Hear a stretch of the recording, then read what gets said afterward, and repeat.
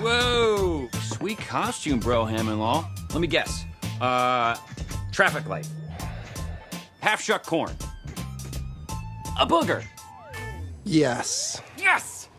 Well, you have fun tonight, darling? You didn't tell me you had plans. Well, I am telling you now. It's their first Halloween. You have to be there. Whoa, whoa, whoa, what's the big deal, dealio? Big guy has a conflict, twins need a father figure for the night. Don't sweat it, sis. I got the old XY chromosome. Uncle Pete the rescue, huh? There you go. Problem solved.